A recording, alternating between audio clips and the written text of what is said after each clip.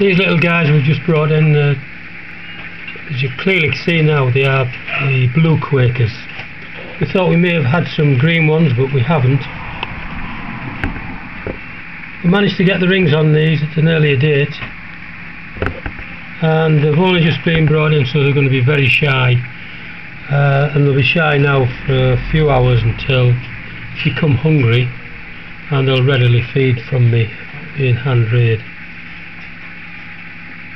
Blue Quakers make excellent little talkers. Not a little lot for you to see at the moment.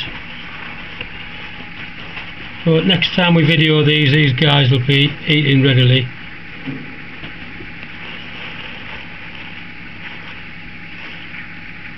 Yes, see, I've just taken them from the nest. Uh, so they're going to be a little bit shy. Or the word might be terrified at the moment. Just until They'll soon get used to me.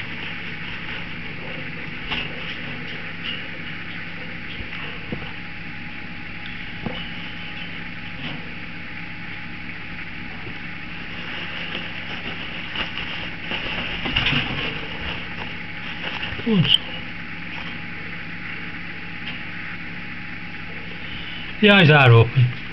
We'll see a little bit more of them on the next in the next fortnight when I video them again uh, and I start getting the feathers but they're clearly two uh, two blue quakers. We were hoping there may have been green one there amongst them but there isn't. The others are well on uh, in a communal nest and these are the only two I managed to get out.